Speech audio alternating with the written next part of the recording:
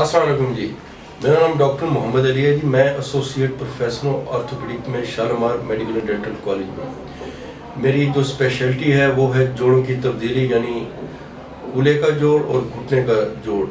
तो रिसेंटली हमने एक पेशेंट जो एक इंटरेस्टिंग पेशेंट हैं, जो कि अफ़गानिस्तान से आए थे मेरे पास, काबुल से।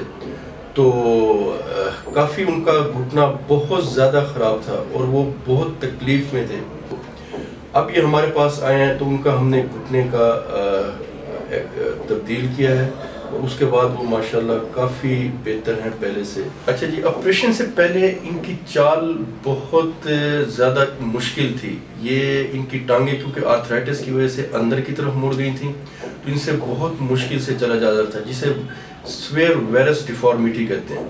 ठीक है? और देर वॉज़ अ फ्लेक्शन कंट्रेक्चर और टांग इनकी सामने से भी मुड़ गई थी। तो बहुत मुश्किल थी इनको चलने में। इवन चार, पाँच कदम चलते थे तो ये थक जाते थे और इनको बैठना पड़ता था।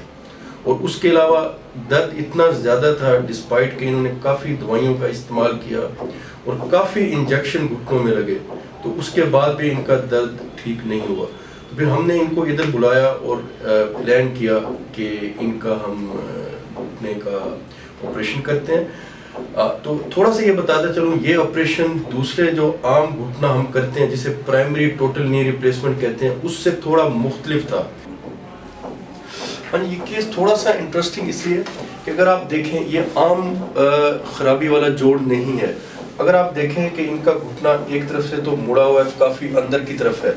दूसरा, इधर गैप कम है, इधर भी गैप कम है, जो कि आम घुटनों में होता है। लेकिन इसमें एडिशनल क्या चीज़ है? कि यहाँ से मीडियल साइड यानी अंदर की साइड से इनकी हड्डी का लॉस है, ठीक है? हड्डी का लॉस है। और इधर से भी थोड़ा सा हड्डी का लॉस है।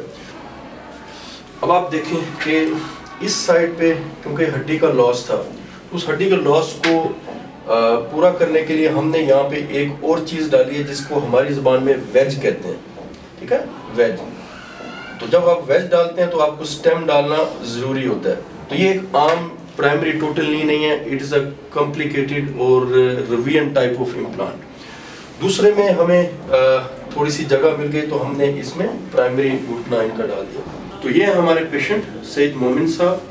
ठीक है? क्योंकि ये उर्दू नहीं जानते तो इसलिए हमने इनके साथ ये हमारे तर्जमान हैं. तो ये बताएँगे. सईद मोमिन साहब, कैसा दर्द था आपको पहले ऑपरेशन से पहले? कितना दर्द था और आपकी चाल कैसी थी? पहले बहुत ज़्यादा दर्द था। नहीं चल पा रहा था। चार पाँच कदम फिर के रुक जाता था बैठता था वहाँ पे। और रोज़ किसी डॉक्टर के पास जाके मेडिसन लेता था, मेडिसन खा के इंजेक्शन लगाता था। पाँच साल हुआ तकरीबन ठीक नहीं हुआ। फिर इधर आकर ऑपरेशन करवाया, एक महीना हुआ, अभी अलहमदिल्ला पाँव सीधा भी हो गया और दर्द भी नहीं ठीक है। तो चाल में भी कितनी बेहतरी आई है? आपको कैसी लगी चाल इनकी? चाल में भी सौ परसेंट बेहतर आ गया पहले जैसा था उल्टा उल्टा जैसा दिखाई देता था। उल्टा चलता था। अभी सीधा हो गया। ठीक है। तो मोहम्मद साहब आप क्या मशवरा देते हैं बाकी मरीजों को? जिन आप किन मराइल से गुजरे हैं तो बाकियों को आप क्या मशवरा देते हैं? कि ये ऑपरेशन करवाना चाहिए या नहीं करवाना चाहिए? बाकी मरीजों के भी इस तरह मेडिसन करने से तो ये तो बेहतर नहीं हुआ।